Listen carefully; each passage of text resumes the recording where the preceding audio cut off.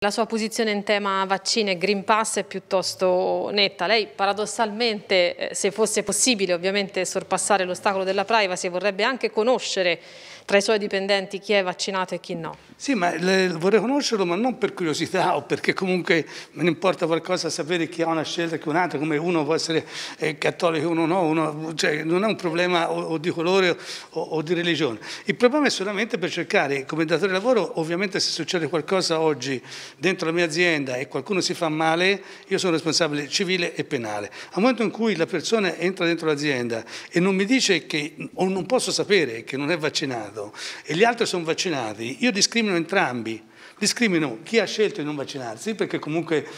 mi devo allineare a quelle sono le condizioni di non vaccinato, quindi stare attento, come si diceva prima, alle varianti, stare attento ai tamponi, stare attento al fatto qualsiasi minimo problema, come è successo nell'ultimo anno, che comunque è stato veramente pesante. Mentre invece ci avrò, se ci avessi l'80% dei vaccinati, io so che con i vaccinati posso stare anche un po' più in libertà, anche perché sono vaccinati, quindi non vedo un motivo di stress devono avere sempre tutti i giorni tutte queste mascherine, queste cose da lavorare, che comunque oggi porta ovviamente dei disagi. Quindi e sono per la totale libertà personale, però sono anche, al di là ovviamente de, de, del mio personale impegno a, a, a, far sì che la gente si vaccini e si vaccini tutta, perché, eh, ripeto, nel mondo sarebbe qualche miliardo meno perché sarebbero morti di, di vaiolo o, o, di, o, di, qualsiasi altra forma c'è stato. Eh, il colera si parla addirittura che, che, è stato obbligato, tra il 1900 e rotto è stato messo come obbligatorio perché comunque stavano morendo eh, una, una, grande quantità di persone. E questo poi è anche un problema, se si vuole, di costo sociale, no? Perché io dico, guarda, io ti vaccino, non voglio niente perché sei vaccinato,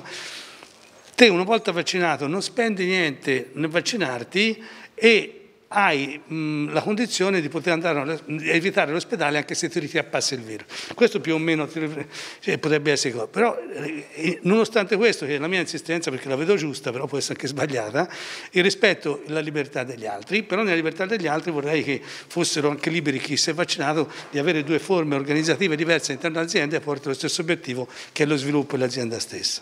Nel quadro della Toscana, che, come va questo motore della Toscana del Sud? Eh, io sono eh, convinto, si, si, vede già i risultati, verso Arezzo eh, si vede già anche la partiografa, l'altra sera ero, che c'è una ripartenza, c'è un movimento di mercato, c'è un movimento di mercato sulle meccaniche, sulla moda un po' più lento attualmente, però già comunque si rimuove qualcosa anche sulla moda. Quindi io sono, ecco, sono estremamente fiducioso e stimolo e con questa, in Confindustria Toscana Sud si lavora su questo per cercare di far capire, perché io credo da qui a dieci anni eh, ci saranno tanti imprenditori nuovi, con tante tecnologie nuove, con tanti metodi di sviluppo nuovi e di lavoro nuovo che oggi quelli che noi siamo magari non si conoscono nemmeno. E io sono fiducioso del fatto che si possa riprendere e ci sia anche imprenditoria nuova e porta questo nostro territorio nel futuro.